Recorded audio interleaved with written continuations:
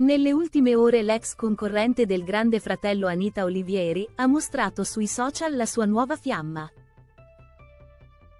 Nelle ultime ore, Anita Olivieri, ex concorrente dell'ultima edizione del Grande Fratello, è uscita allo scoperto sui social con la nuova fiamma, confermando così i rumors degli ultimi tempi che la vedevano vicina ad un nuovo ragazzo, dopo la storia con l'ex coinquilino Alessio Falsone.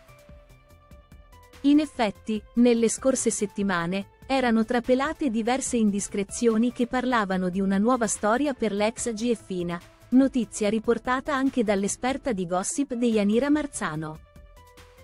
Tuttavia, in quell'occasione, Anita Olivieri era intervenuta sui social smentendo ogni cosa e scagliandosi contro tutti questi rumors su di lei e su chi l'aveva definita un'arrampicatrice sociale.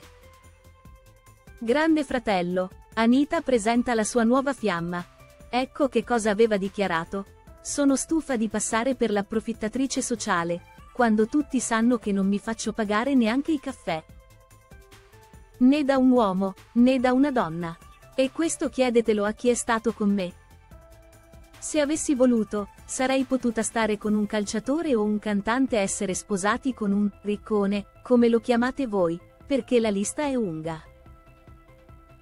Quando lavorerete da quando avete 13 anni, andate a vivere da sole a 24, e studierete tanto da fare tutti insieme e chiudere un master a 25, mantenendovi praticamente tutto. Da quando ne avrete ricordo, allora potrete giudicarmi perché sarete migliori di me in qualcosa, e io accetterò e imparerò da voi.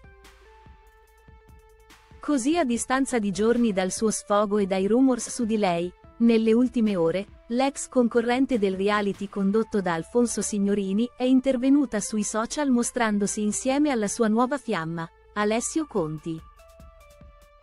La ragazza si è immortalata in diversi scatti con il nuovo fidanzato, nei quali appaiono molto uniti ed affiatati. Ha poi anche condiviso un video in cui varie testate hanno riportato la notizia della sua nuova frequentazione, a cui ha aggiunto una didascalia del tutto ironica. Grazie per la privacy, RIP vita privata.